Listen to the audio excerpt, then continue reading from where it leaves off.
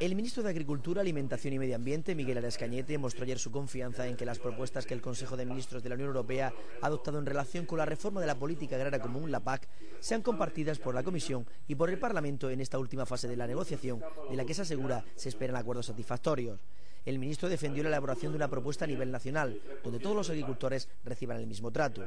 Para llegar a un acuerdo sobre esta propuesta, el ministro mostró su confianza en la sensatez y buen juicio de los consejeros autonómicos, las organizaciones profesionales, las cooperativas agrarias y las asociaciones sectoriales. A los poderes públicos lo que no pueden seguir haciendo es apoyar pequeñas cooperativas y multiplicando cooperativas en las provincias.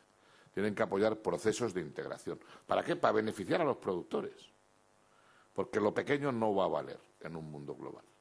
Miguel Arias Cañete se ha manifestado de esta manera durante una conferencia que impartió en la Asociación de Empresarios de Almería, Sempal.